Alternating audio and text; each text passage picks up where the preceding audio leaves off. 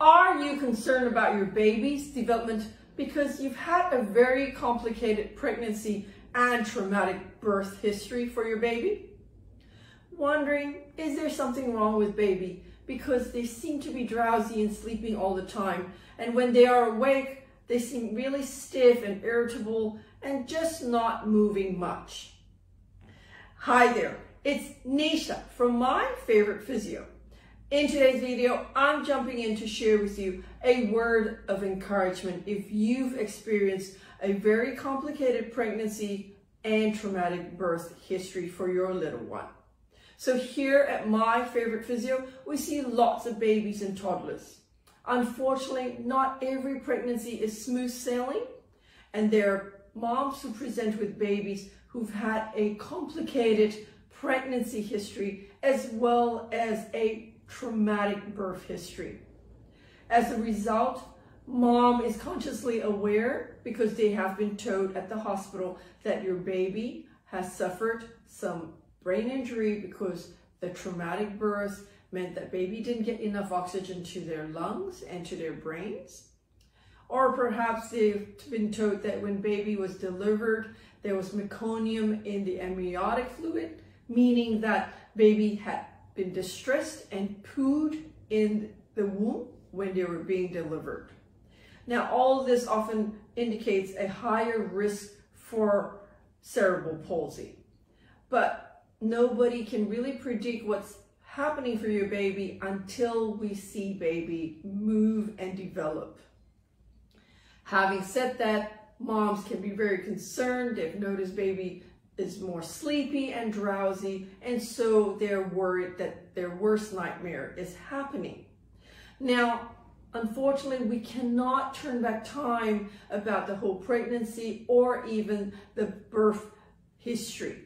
What we can do though is we can have a look at your baby, carry out a full assessment, and determine if your baby needs some early intervention pediatric physiotherapy to help them learn to move better and achieve their milestones and help their brains learn the right pathways so that if there was any brain injury that has happened during the birth, that we can actually minimize the impact on your child's gross motor skills and development.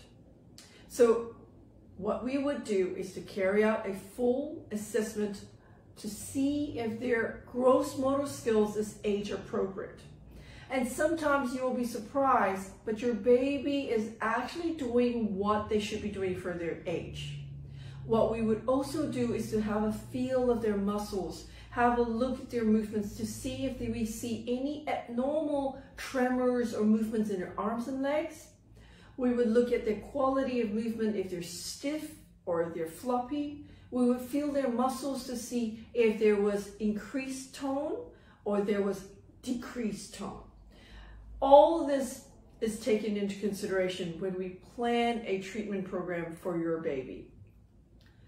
Early intervention makes a difference and it helps babies learn the right movement pattern so that they can learn to move better.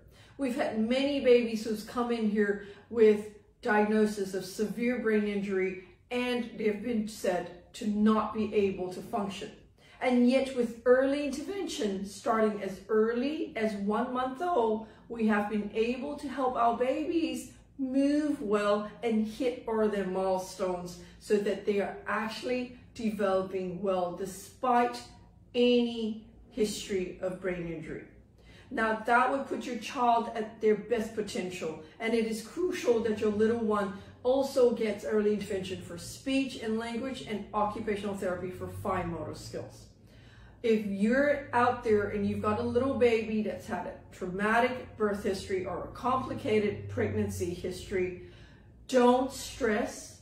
The best thing to do is to actually see an expert pediatric physiotherapist because early intervention is key and we see many little ones successfully develop and achieve their gross motor skills and get up to school age and be very minimally impacted by that early brain injury.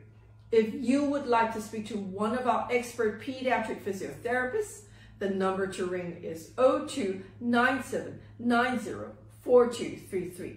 And if you know somebody out there who's just had a baby and had a really challenging time with their birth history, why don't you like and share this video with them? Until next time, have a fantastic day. Bye.